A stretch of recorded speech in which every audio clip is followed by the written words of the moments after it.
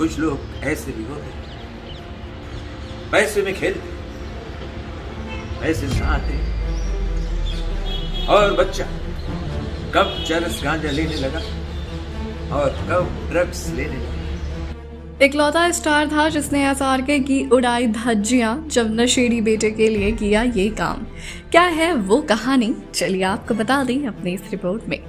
तो दोस्तों, जहाँ पर एक वक्त ऐसा था जहाँ पे आर्यन खान को एनसीबी ने अपने गिरफ्त में ले लिया था, नशे के चलते। जी हाँ जब वो ड्रग्स केस में फंसे थे तो वहाँ पे राजू श्रीवास्तव एक इकलौते ऐसे शख्स थे जिन्होंने खुलकर एनसीबी के लिए बोला, एनसीबी का साइड लिया। जी हाँ जहाँ पे सब आर्यन खान को चढ़ाने में लगे हुए थे तो वहीं पे राजू श्रीवास्तव ने बिना डरे हुए अपने ओपिनियंस को एक्सप्रेस किया। जी हाँ वो बोले थे कि एनसीबी का वो पूरी तरीके से समर्थन करते हैं और एनसीबी की जो प्रतिक्रियाएँ चल रही हैं आर्यन खान के ऊपर, वो उससे संतुष्ट हैं। और मीडिया ने आर्यन खान को ऊपर चढ़ा कर रखा है जस्ट बिकॉज़ वो शाहरुख खान के बेटे हैं। लेकिन अगर वो इस केस में फंसे हैं, अगर वो ड्रग्स रिलेटेड केस में फंसे हैं तो उनको मीडिया इस तरीके से कवर कर रही है।